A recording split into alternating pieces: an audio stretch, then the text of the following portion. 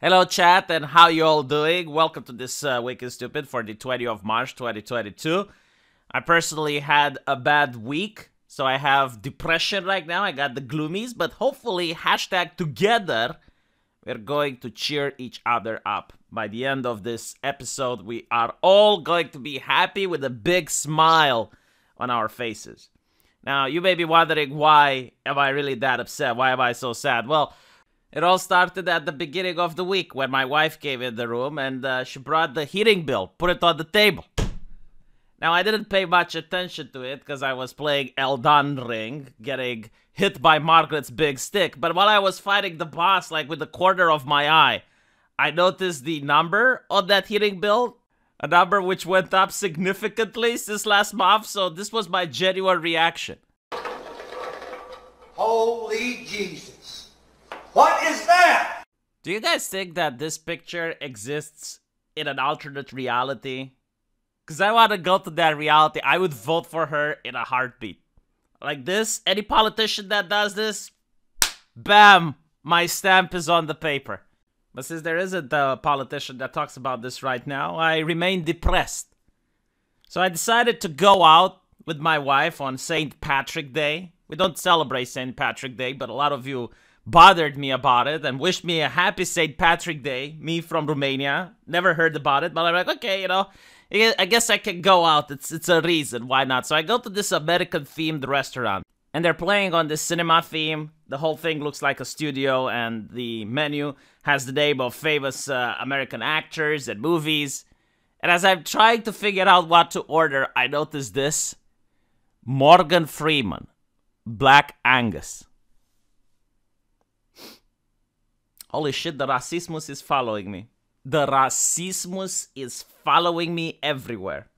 So I start laughing, and the waiter goes like, "Wow, what, what's so funny?" And everyone is looking at me, curious, and I'm like, "You didn't get it. You need to spend at least one hundred thousand dollars in student debt at an American university, so that an academic can lecture you for at least four years, so you can understand why this is bad." So this made me feel even more depressed. Because now I'm like disconnected from the world. Now no one gets the jokes that I have. No one understands the racismus that I see. I can't educate people. So I go home and I, I'm still depressed. So I, I do the only thing that people can do, which is reading the news. Uh, hopefully someone is more depressed than me and that's going to make me happy. It's going to make me appreciate that things aren't that bad. And yeah and behold, I actually found such a person. Just take a look at this article from The Sun.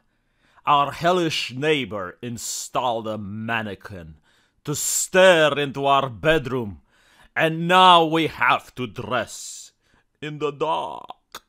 So let me see if I get this straight. They probably had an argument with their neighbor, which is not covered in this article. Like, we don't know what led up to this. But the neighbor installed a window to his house and then placed a mannequin with a realistic blonde hair like wig in order to make it more believable and caused these people to feel like they're being watched. Like, what level of autism is this? Uh, what type of neighbor does something like this? And apparently, they were living in the dock because they installed drapes and they pulled them on they felt like they were being watched constantly. And they couldn't shower properly either. And I'm thinking, like, but why though? Like, look, if your neighbor installs a mannequin, why can't you buy like some of those creepy porcelain dolls and put them in the window so that they're looking at your neighbor? I mean, you escalate things. You don't just sit there and take it. You do it the Eastern European way. You go to a farmer and you buy some chicken heads and you put them in the window to look at the neighbor. Like, come on, do something! Do something! But no, instead they went and they sued. They sued the, the hellish neighbor, which uh, apparently wasn't grounds for a lawsuit. Apparently, I know this is a shocker, but people can put mannequins in their window if they feel like it. So now they're, they're still living uncomfortably for some reason, even though they know it's a mannequin, even though they know that someone isn't watching. It's like the, the fear, I guess. So, um, you know, this makes me happy. This makes me happy because it shows that there are other people out there who have it worse than me. Like, there, there are people who have some problems that I don't. And I'm like, you know what? At least I don't have that type of neighbors because uh, I, I would have gone for the chicken heads, honestly. And my neighbor being Eastern European, he would also escalate things further. So it, it's best that I don't have this issue. Now, uh, there is one way I could uh, cheer up. And maybe you guys, maybe you guys from the chat can help me cheer up. Because I just thought about the perfect solution. Next month, my birthday is coming up, 2 of April. And I know what I want. I want a Dakimakura. It's not expensive, by the way, okay? It's not expensive. But the thing is, if I buy it, my wife is going to freak out. But if you guys buy it, then it can be like, oh, it's just a gift. It's just a gift, you know? Like, uh, what can I do? So yeah, I, I want a Dakimakura. If you don't know what the Dakimakura is, Google it. Okay, stop watching this, pause the video, Google it, and you will see. But I don't want any Dakimakura, okay? Not not any Dakimakura. I want a Zelensky Dakimakura because it has been advertised in the New York Post, and God, do I not want one of it. Look at this, in bed with Zelensky. I can then say that I have been in bed with the Ukrainians. The pillows of the Ukrainian president's face have sold out. Man, there are some thirsty, thirsty women out there. Some very thirsty ladies. Look at this. Ushkshi. Ushkshi. He may be busy thwarting assassination attempts and defending his country during wartime, but you can still spend the night cozied up with the Ukrainian President Vladimir Zelensky, the New York Post writes the politician who has become an unexpected sex symbol. Oh my god, like the, the power, the masculinity, the virility in those pillows. Since Russia launched the invasion in Ukraine, now his face features on pillows made by the Czech designer Thomas Brynek. Many people, mostly of the fairer sex, the thirsty ladies, see him as some kind of sex symbol, so I got an idea on how to make a pillow which would look like he is actually in their bed. Brynek told Reuters, I need this in my life, chat. I need this. But unfortunately, it has sold out. Maybe I can treat it like an NFT. You know, I get my hands on one, I, I hold it, hold it, diamond hands, chat, diamond hands. And when there aren't any on the market and the prices goes up, then I sell so it. So all in all, I want the Dakimakura for Christmas. A President Zelensky one, no other will do. All right, uh, last week, it was 8th of March. Actually, it wasn't last week. It wasn't Women's Day last week, but uh, the articles about it came out. And um, the most interesting one that I could find is London Dungeon. You see, on 8th of March, a lot of corporation, businesses, and government organizations are trying to show how progressive they are and how much they care about women. Preferably, they should care about women all the time, but I know they, they care about only women on 8th of March. And that's like, all right, maximum progressiveness, boys. Let's virtue signal like we've never virtue signaled before. And one of the most interesting virtue signals, and by the way, the definition of a virtue signal is pandering. Like doing something that doesn't help anyone, but everyone goes around you and they go like, oh, you're such a progressive person. Ah, oh, you're the gift from Jesus. Jesus himself shut down the toilet and that shut was you and you came to us. You're so progressive. Oh. Now, London Dungeon, if you don't know what it is, no, it's not a kinky thing. It's um very difficult to describe actually, but it's a really good attraction. Like if you actually go to London, you should visit. It's kind of like a theater, if you will, and the actors are putting on a live role play with elements that happened in London's past. So you have like an entire section with uh, the plague, you got another section with like remember, remember the 5th of November, you know, like that type of thing. And one of them is also with Jack the Ripper. Now, for those of you who do not know, Jack the Ripper was a serial killer in London. His victims were women, uh, very grisly stuff. And do you know what the progressive thought? Do you know what they on, on Women's Day on 8th of March? Do you know what would make women happy if we make Jack the Ripper into Jackina the Ripper? Or sorry, Jackie, Jackie the Ripper to mark International Women's Day because uh, I guess we we gotta balance the scale a little bit. Uh, too, too, too many men that uh, have taken a lot of part in history. So let, let's just manipulate history in order to celebrate Women's Day by having Jackie the Ripper, which, um, as you can imagine, upset a lot of people. The tourist attraction, by the way, it's very expensive. It's like 50 pounds to visit. Horrible. Uh, located along London's South Bank, told visitors they would change the name of the serial killer from uh, Jack the Ripper into Jackie. Does that mean that Jack the Ripper is progressive? He, he is uh, You are a transgender. taking to social media. One horrified user wrote, "Hard to imagine that when you were all sitting around the table, as Sama said, I got an idea. There wasn't anyone in the room who said, "Are you kidding?" You don't understand. They're progressive people. That's what they do. Like they have ideas and they implement them. Who cares what you think about it? They are progressive. Are you progressive? No, you're not. Shut the fuck up. You're a peasant. Okay? Start a multi-billion dollar corporation or get elected into the government and then you can have something to say about it. Uh, who, who do you think you are? Who do you think you are looking at your betters and going, "Uh, it's a bad idea? No, it's a great idea. It's a progressive idea. Uh, with violence against women such a significant topic at the moment, this is an astonishing lack of judgment. Yes, but it's progressive judgment. While another person commented, I think maybe circle back with the people who were in the meeting. Oh, yeah, circle back. You think you can use their words against them? You dare uh, use my own spells against me. You don't circle back to them. They circle back to you because they got money and they got power and they're the Tsuyoi government, progressive government. One person said, What the actual F is this London dungeon? You think this is an appropriate way to mark International Women's Day? Well, didn't they want representation? Like, didn't, didn't they want. How many male serial killers are there versus women? Like, you need, you need to balance the scales a little bit. Uh, start being progressive. Start, start thinking like a progressive person. While another added, uh, honestly, if there's a point to the London Dungeon doing that, I have no idea what it is. Yeah, because you're a bigot. You need to go to university. You need to spend money. Give them money to the university so they can lecture you on progressive topics, and then you will understand. Elsewhere, uh, Kim Manning-Cooper, head of communications at the domestic violence charity, told uh, by London, not only does it trivialize the systemic murder of women by a serial killer, but it makes a mockery of a day that is supposed to be about celebrating women's achievements.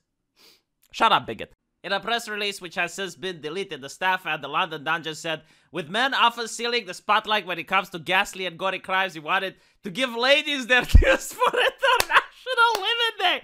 Oh, that is progressive. Yes, yes, that is so progressive. Very ushikushi. You know, everyone that's against it is a bigot and is a sexist. If you're not a sexist, go visit the London dungeon. Isn't that how marketing works nowadays? Isn't that how a product is supposed to be sold? You do something to antagonize the public, and when the public complains, you call them bigots, you call them trolls, and then your product sells, right? Isn't that like Hollywood marketing? Isn't that what progressive marketing is about? Right. Uh sorry, I got a little bit carried away. I It's okay, chat. It's okay. The next story is, is a little bit more interesting, I promise you. It's it's also about 8th of March. I mean, it was the gift that kept on giving. I tell you, it's like when people want a virtue signal, it brings out the best in them. It, it, it shows you what the people in charge really think. And here we have the logo for Scott Morrison's gender equality organization. Are you, are you ready to see it, chat? Are you, are you ready to see the logo for Scott Morrison's gender equality organization? Are you ready? Are you sure? You know how you do it when you play poker and you slowly, like very slowly reveal the cards in your hand? I'm going to do the same, like very, very slowly. We're, we're revealing it. It's like, look, the logo is coming. Oh, oh, oh, oh, oh, no, no, no, no, no. You know what's even more funny? Like, if you look at how much money they probably spent on this, it's quite a lot. Like, usually, uh, when when governments spend money, they have a lot of money to spend because it's your money. You know, it's the taxpayers' money. So something gi- freely given has no value. So, so it's not really their money. And it's like if someone goes like, "Hey, give me a million dollars. I need to make a logo." They're like, "Sure, why the fuck not?" So that's how money is being spent properly, right? In, in the government. And uh, I'm, I'm curious, like, how much this logo costed. Some people say it's like a tampon. I guess if I tilt my head, I can see it like a tampon. You know, it's maybe it's like a, a one one of those Rorschach tests, huh? To see if you're a man of culture or not. Like if you see the wrong thing, clearly you're a man of culture. So we best see correctly, chat. We best see correctly because Susan is watching. She's always watching. She doesn't want us to see correctly. But yeah, so uh, that was my uh, trip yesterday, trying to get a little bit of happiness in my life. Going on the internet, trying to see people being more miserable than me. But I found that, you know, maybe that's not enough. Maybe I should do something else. I'm going to listen to the comedians because everything is political right now. So the least political thing is actually politics itself. So I wanted to see, like, what, what do the brave leaders of the free world have to say? And it was St. Patrick's Day, so they had a couple of jokes. Let's listen to the US president joke about the Irish. Father, uh, before I begin, bless me, Father, for I'm about to sin. I, uh, well, I just want you to know, I may be Irish, but I'm not stupid. I married Dominic Giacoppa's daughter. Wow, I didn't know you can make jokes like that anymore. I didn't think that's progressive. It's a little bigoted, isn't it? That's, uh, not okay. That's a big oof, like they like to say on Twitter. The joke police on Twitter must be asleep on St. Patrick's Day. I think they had a little bit too much to drink, because if I made the joke like that, it's a big yikes. Uh, oh my god, like everyone would clutch their pearls and they will like. But when the US president makes a joke like that, it's fine. Yeah, it's okay. It's okay. I, I, but, but, like, you know, it is equality under the law. Because I guess, like, if I were to become president one day, I too could make jokes. Like, if you're a comedian, that's what you need to do. Become the president of the United States and then you can make offensive jokes. So anyway, while I was watching uh, one politician, might as well watch another. Let's see, the, a very beautiful poem by uh, Nancy Pelosi. I want to, I got this message this morning from Bono. And, and most of us, uh, we're always, whether we're in Ireland or here or whatever it is, Bono has been a very Irish part of our lives. And he said, Ireland's sorrow and pain is now the Ukraine, and St. Patrick's name is now Zelensky. about that.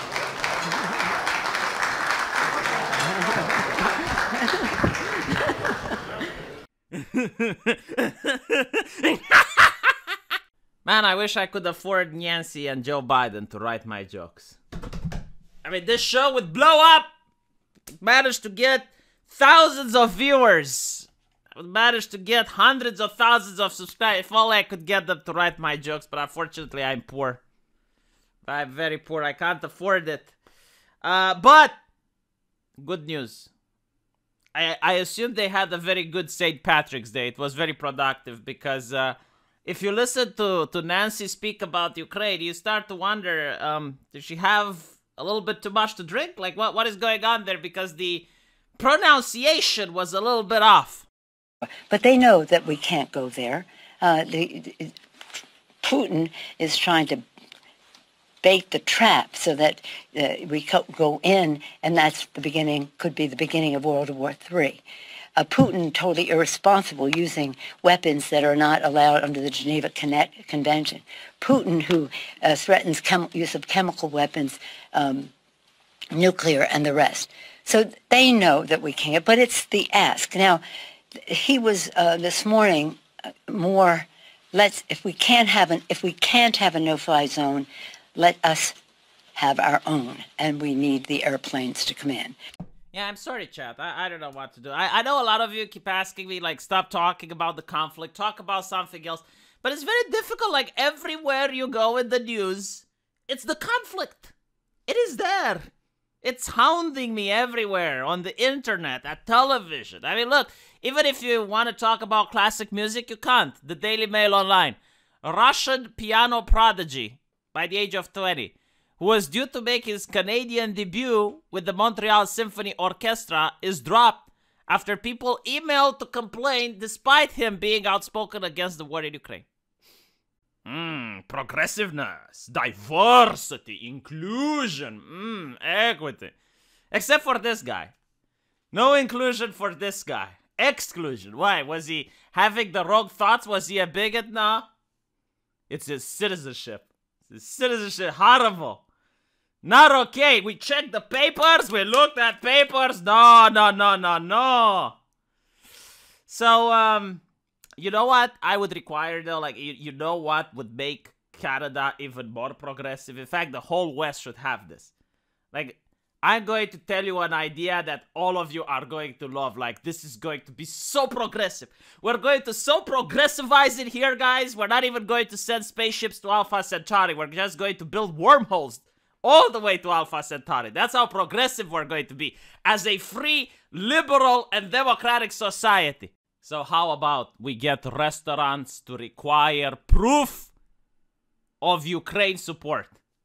Wouldn't that be progressive?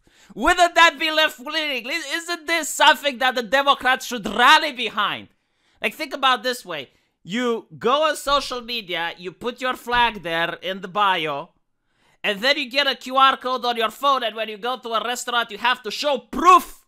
You show your cell phone, and it's like, look, I support it. All right. You can come and you can have a sit. You can eat.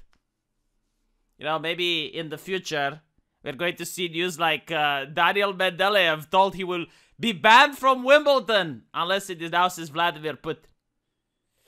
That that now that would be a society that I want to live in a future very, very, what's the word? Tell me the word, chat. Tell me the word. Progressive, yes, very progressive, forward thinking, left wing society that I would be proud of living in. So I was really happy, you know, very optimistic about the future. Uh, all of a sudden, all of my worries are being uh, put away when I notice a fellow Tavarish, a fellow comrade, suffering. And, and this doesn't please me, by the way. This, this really hurts me. Like, I don't want to see other people in pain. And apparently, Hasan Piker on Twitter said that he has been robbed. And this, you know, it, it saddened me. Um, because this is uh relatability. See, it's not representation. Cause cause he's an American. I'm not American, so so he doesn't represent me, but it is the human connection that I felt to Hasan, you know, the, the relatability of him being robbed. Because I've been robbed too. I have also been robbed. So so now there's this connection between me and him. It brought us together. And, and it makes me want to have a conversation about the gas prices. So far. And by the way, the American people just trying to stay above water don't understand this. You tell them what the American Recovery Act was, they look at you like, what are you talking about? Why don't you understand, bigot? It's bigger than you. Yeah, you can't stay above water. Who cares? This is about America. This is about our democracy. We have to treat climate change like the existential crisis that it is. End subsidies for fossil fuel corporations. Ban new drilling on federal lands and waters. Hold oil executives accountable. Rally the world to raise the commitments of the Paris Agreement. What's that? Your cost of living is too high. You can't afford to buy food. $10 a lettuce. Just stop being poor, you bigot, and buy a Tesla. Why can't you afford to buy a Tesla like normal people? Cheapest one is $70,000. What? Is it a problem? Look, asking people to get an ID is racist because there are people who can't afford the $20 to get an ID. But asking them to buy a Tesla is progressive, enlightening, forward thinking. You have the academia on your side, you have the social media on your side, you have the good guys and the corporations on your side. That's why you need to be progressive and left leaning. Now, the question is Does Joe Biden have a Tesla? Ah, you never thought that is going to be asked, did you? Well, it was. Let's see what the answer was. Just one yeah. more about electric vehicles. You guys are pushing electric vehicles today. This is a president who always talks about the power of our example. Mm-hmm. Does he own an electric vehicle? Presidents of the United States don't do a lot of driving. He's posted videos where he's revving the engine of his Corvette in Wilmington. He owns cars. And he also has driven electric vehicles as president, as, as to give a model to the rest of the country. Does he own one? I think the president's record on this is clear, Peter. Presidents of the United States, current and when they are no longer, typically are not doing a lot of driving. Go ahead. There you go. There are multiple paths on escaping the predicament. Number one, stop being poor and buy a Tesla. Number two, become the president of the United States, and then you don't have to do a lot of driving. Then you can sook You can suck the money from the taxpayer. You go like, and all of your problems go away. And that is socialism. That is why a lot of smart people support socialism. You take the money from the taxpayer, you go like, and then you give it to yourself. But it's important to lie to them. Like you lie to the people, it's like, hey, we're going to redistribute wealth, we're going to have equity. But in reality, you just take it from them and you give it to yourself. Give it to yourself and don't give it back. So anyway, this was uh, this week is stupid. Hopefully you guys enjoyed it. I'll be live streaming after this. Why is it called live streaming, by the way? Why can't I call it dead stream? I'll be dead streaming after this. I'm a little bit depressed after reading that news. I should have gotten cheerful, but instead I got depressed. Maybe you guys can cheer me up by joining the chat on my other channel.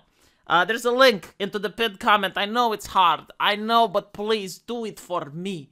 Do it for me. Scroll down. Just move the mouse, scroll down a little bit. There's like literally the first comment that's pinned, and there's a link. You click on it, and it takes it to my live stream. I need you. Chat, I need you in my life.